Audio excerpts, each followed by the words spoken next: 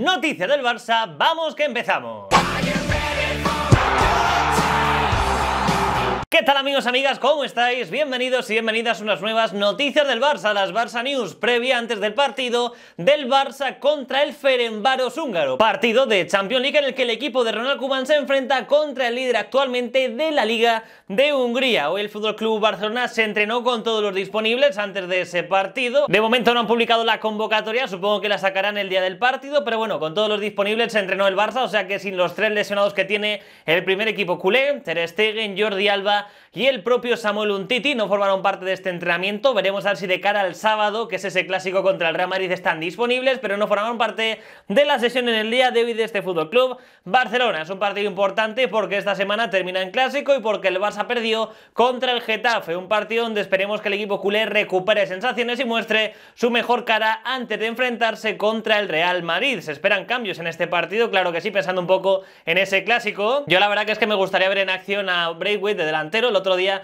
ese rarito que salió creo generó bastante peligro. Personalmente creo que se merece una oportunidad en ataque. También, pues personalmente me gustaría ver cambios en el medio, ya sea con Ricky Puig, con Aleñá o incluso con Pjanic, que partan de inicio, que jueguen minutitos. Al igual que también, pues mira, personalmente me gustaría ver a Sergiño Des jugando de lateral derecho. El otro día dejó buenas sensaciones por la izquierda, pero verle por la derecha es algo que personalmente me gustaría en este partido. Aunque el que decide es Ronald Koeman, el que tendrá que tomar decisiones de cara a este encuentro. Junior Firpo, por cierto, ya tiene el alta, por eso digo lo de test de lateral derecho, porque Firpo en teoría ya puede jugar en la izquierda. Pero bueno, que el Barça pues espera hacerlo bien contra el Ferenbaros, parece que Leo Messi partirá de inicio, no tiene pinta de que descanse, aunque nunca se sabe, ya comentó Ronald Koeman que Messi es mejor que juegue antes que descanse porque puede perder ritmo. Y respecto a Leo Messi, hoy Ronald Koeman le ha pedido un poquito más, esto ha comentado. El rendimiento eh, puede ser mejor, pero yo creo que viendo al jugador día a día, eh, está feliz, está entrenando bien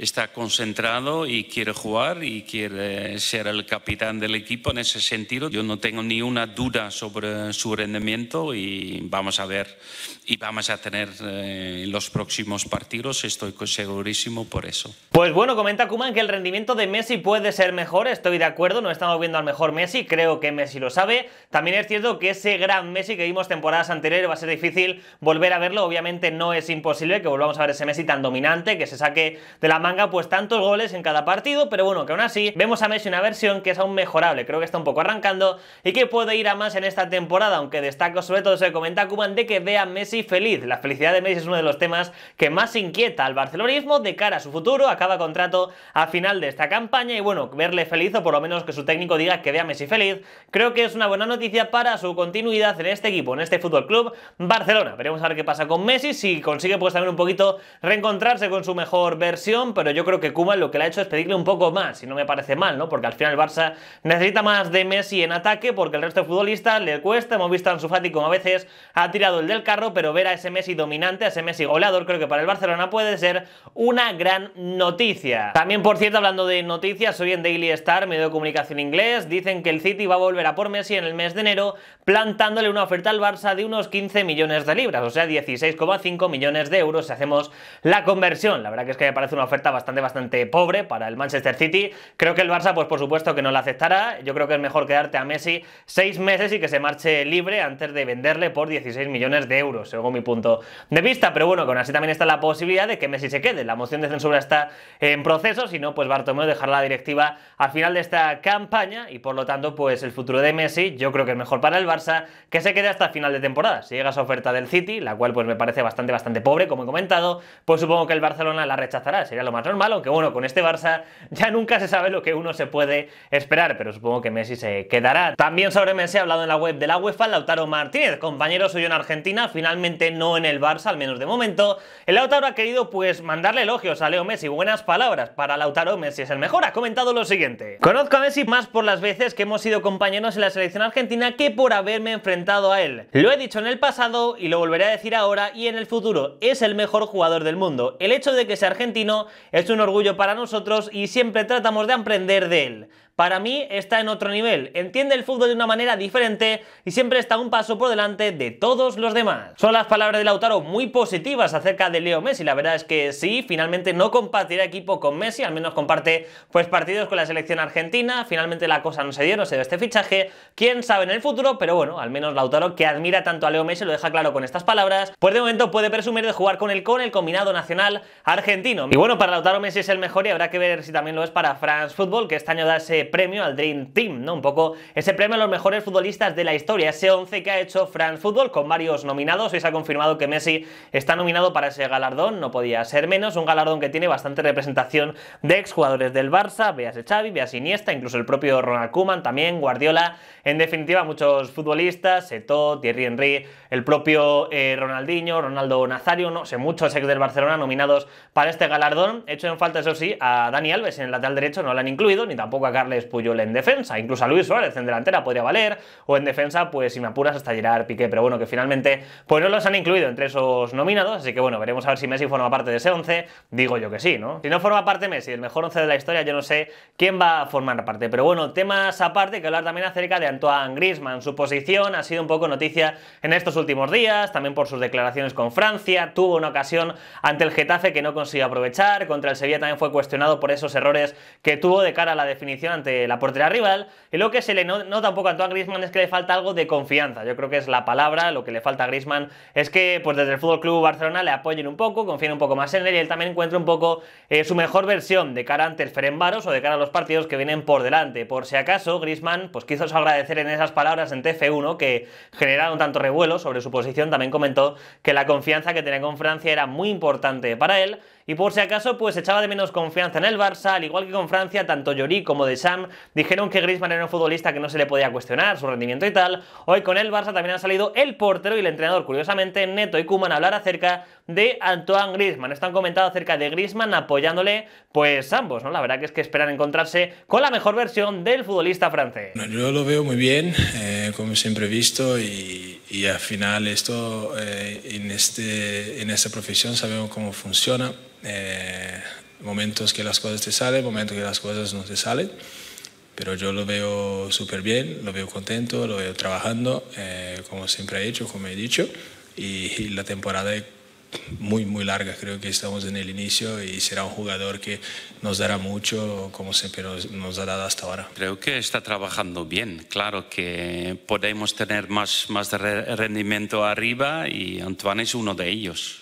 Y él, mismo sabe perfectamente su situación y el único que, que un jugador puede hacer es, es, trabajar mucho para cambiar este, este, esta, situación y nada más. Para mí es fundamental que Griezmann vuelva a creérselo, vuelva a sentirse importante en este Barça, yo creo que lo debe ser. Además yo creo que la posición no es tan problema de Griezmann, le falta un poquito de eso, confianza, recuperar sensaciones, volver a sentirse importante, marcar goles. Yo creo que el Ferenbaros es un rival idóneo para que Griezmann muestre esa mejor versión, veremos a ver qué tal el futbolista francés, pero para mí es fundamental, si Griezmann marca golitos en este partido, seguramente veamos su mejor versión dentro de poco. Y antes del clásico creo para el Barcelona puede ser una muy buena noticia que Griezmann se vuelva a enchufar con el equipo culé. Pero bueno, la cosa va así, además de Griezmann, también hay que destacar el buen papel de dos futbolistas de tan solo 17 años que están por el momento tirando la puerta abajo en este Barcelona. Uno es Ansu Fati, que ya todos conocemos, gran arranque de temporada, y el otro es Pedri. El otro día contra el Getafe dejó muy buenas sensaciones, un futbolista diferente, con calidad. Personalmente es un jugador que a mí me gustó mucho, me ha sorprendido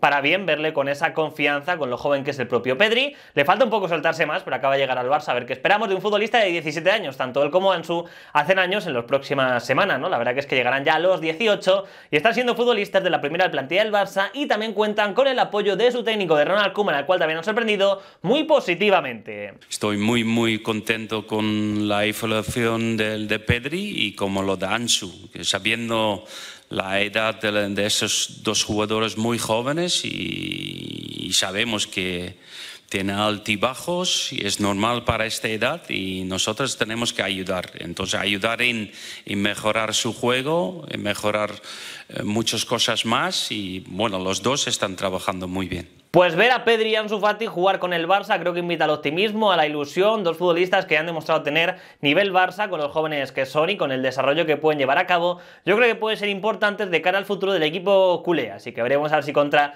el Ferenbaros pues vuelve Ansu Fati a la titularidad, si Pedri sigue o si finalmente vuelve Felipe Coutinho a jugar en esa media punta, un Coutinho con energías renovadas, un Coutinho que descansó ante el Getafe, como dijo Ronald Koeman, porque básicamente no había tenido descanso este verano después de ganar la Champions con el Bayern, volvió muy pronto con el Barcelona antes de tiempo y ha vuelto con muchas ganas, intensidad y esfuerzo, algo que la verdad que es que se nota en Coutinho. Ha cambiado el chip en el futbolista brasileño y un futbolista que le conoce bien es Neto, eh, su compatriota, el cual habla esto sobre el nuevo Felipe Coutinho que está destacando en este Barça. Primero contento eh, por dos partes, por tener eh, un amigo como él de nuevo en nuestra plantilla y por tener el jugador que es ayudando y añadiendo muchísima calidad. Creo que viene muchísimo ilusionado y, creo que nos dará mucho, nos dará mucho porque está demostrando los entrenamientos y, y aparte de demostrar, todos sabemos la calidad y el potencial que tienes. Pues apetece ver a Coutinho de nuevo, veremos a ver si es ya contra el Ferenbaros. Yo creo que la calidad de Coutinho nunca fue cuestionable y este año nos estamos dando cuenta. Neto, la verdad que es que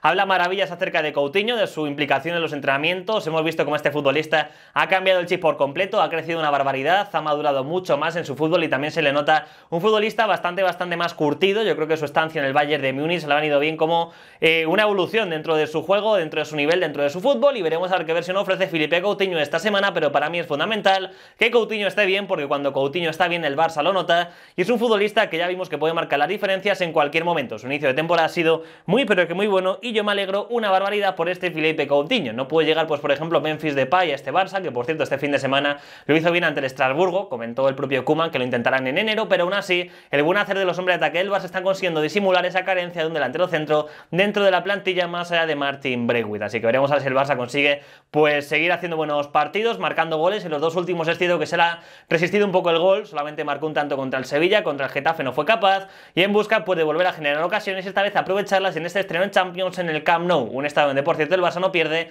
desde el año 2013, que perdió contra el Bayern de Múnich. Han pasado ya 7 años y el Barça sigue sin conocer la derrota en su feudo, sin conocer la derrota en su estadio, así que buscará mantener esa buena racha ante el Ferenbaros, recuperar sensaciones antes de un rival exigente como el Real Madrid y luego le espera nada más y nada menos que la Juventus de Turín. Caer en buena dinámica puede ser positivo para el equipo culé en un partido así. Además también del Fútbol Club Barcelona, del primer equipo, hay que hablar acerca del Barça B. Este fin de semana jugó contra el Nastic de Tarragona, estreno en Segunda B y ganó por un gol a cero con un tanto de Arnau Comas, que fue finalmente el que decidió la victoria para el equipo de García Pimienta. Estuvo Ronald Koeman en la grada junto a Schroeder mirando este partido, eh, que yo creo que es una noticia muy positiva que Koeman esté pendiente del Barça B para ver cómo evoluciona el filial del equipo blaugrana para que los futbolistas se sientan valorados y que están siendo seguidos por el primer entrenador para subir con el primer equipo. De hecho, muchos futbolistas de estos que han estado con el primer equipo jugaron este partido. Véase, por ejemplo, Iñaki Peña, Ramos Mingo, también vimos a Mingueza, a Ilaix Moriba, a Oriol Busquets o a Conrad jugar de inicio en este partido, al igual que también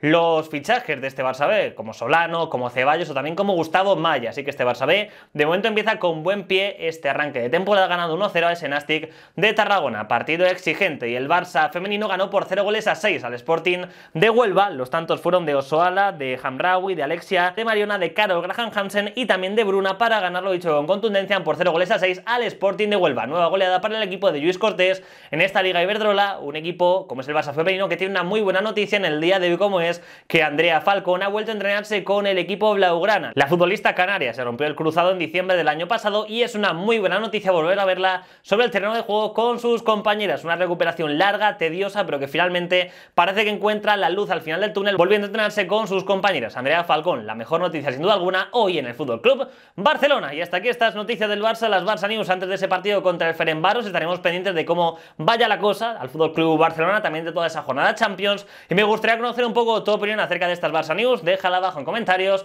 Dale me gusta a este vídeo si te ha gustado y te espero por aquí en el siguiente. Sed felices, que es lo importante, y cuidaros mucho. Chao, chao. Adiós.